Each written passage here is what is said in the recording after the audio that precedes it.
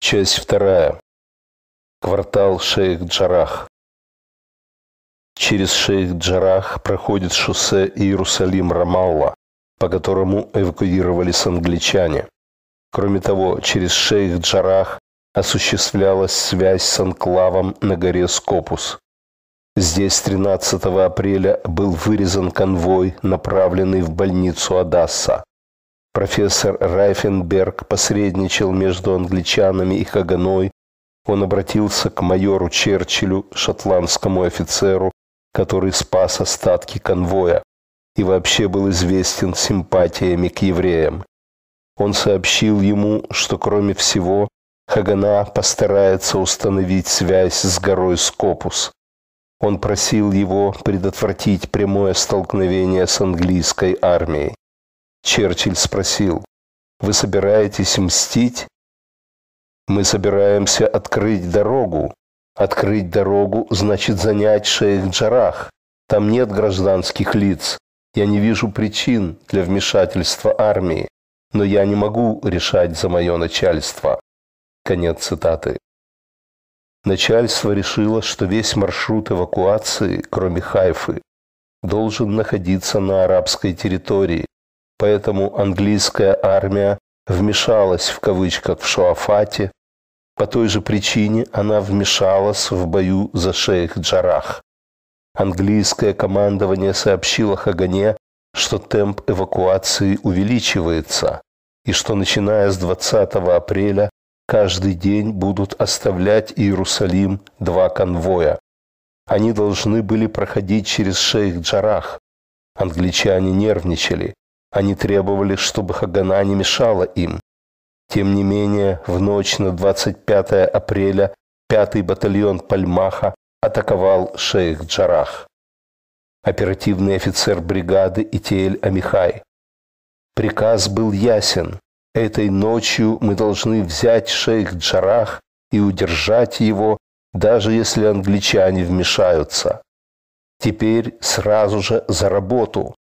Мы произвели рекогносцировку вдоль линии обороны в городе, чтобы собрать данные и выработать костяк плана, в кавычках.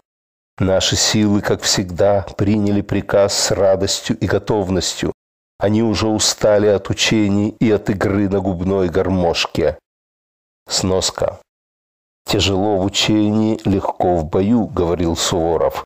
Это правило существует для офицеров, а не для рядовых.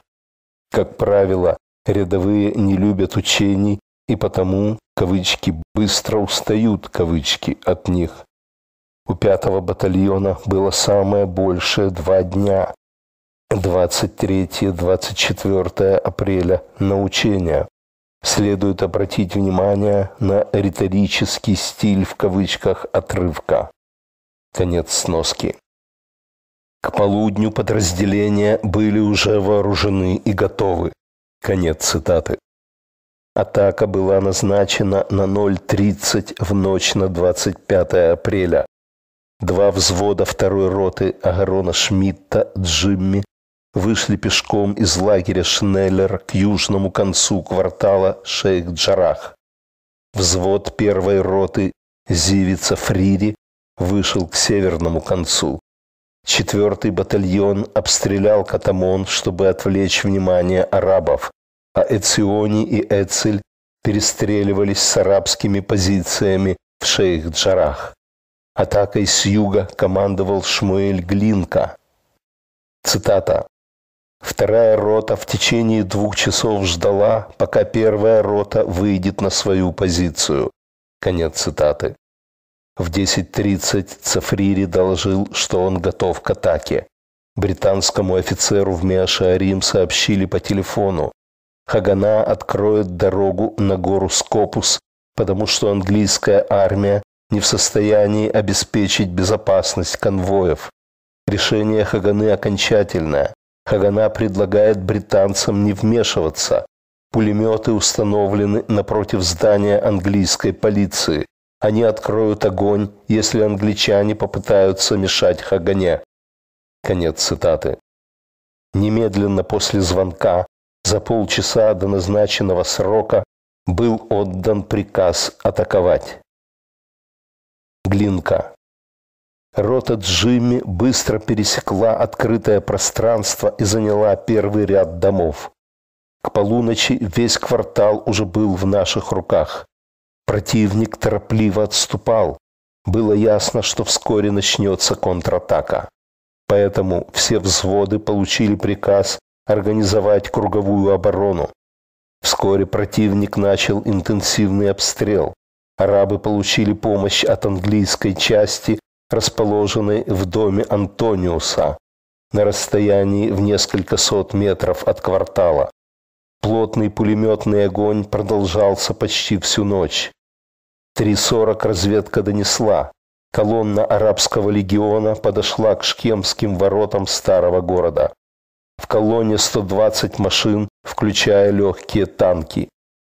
В квартале Меашарим был установлен пулемет «Браунинг» который прикрывал атаку. Английский офицер пришел и потребовал очистить позицию. Командир расчета. Мы связались по радио с Глинкой. Он выдал букет сочных ругательств и попросил передать их англичанину. Сноска. В Пальмахе обычно применялся русский мат. Как перевели его на английский? Конец сноски. Нам он приказал продолжать огонь. Офицер повысил голос, начал кричать и угрожать, и в конце концов исчез. Мы продолжали поддерживать атаку огнем. Конец цитаты. Взвод Цафрири занял дом семьи на Шашибе, который господствовал над всем кварталом.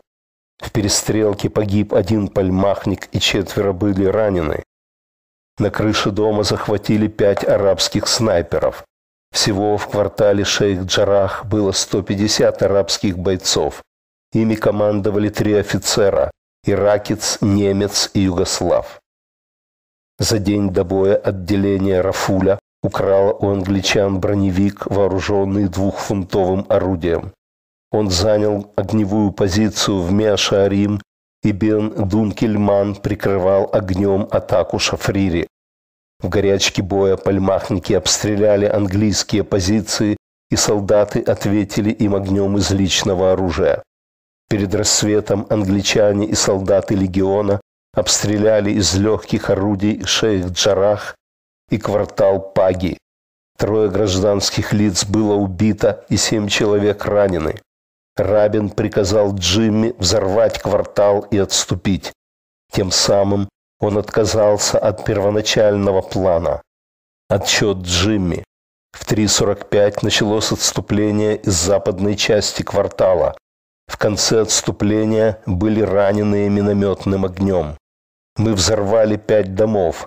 Прикрытие не было эффективным, несмотря на некоторые попытки корректировать огонь пулеметов и минометов.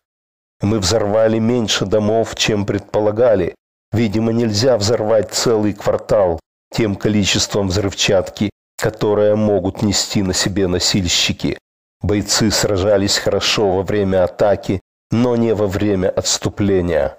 Конец цитаты.